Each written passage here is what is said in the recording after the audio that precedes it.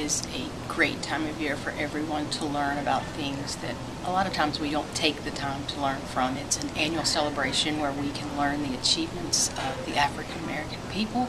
and to know how much they've really put into making this nation what it is today. I think it's very important to commemorate Black History Month,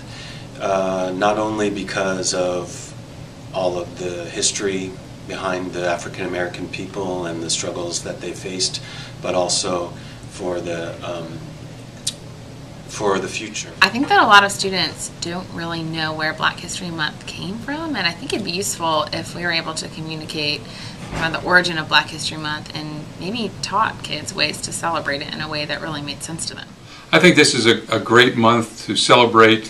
what's transpired in our country in, in the last 50 years. Um, one of the key things that happened here in North Carolina was Charlie Scott integrating uh, ACC and coming to the University of North Carolina in 1967 uh, to become a Tar Heel basketball player, um, where he was an All-American and led them to the Final Four. Um, I think that changed the idea of, of African Americans in the state significantly, and you have to credit Dean Smith with doing that, um, having the, the um, being brave enough and courageous enough to, to take that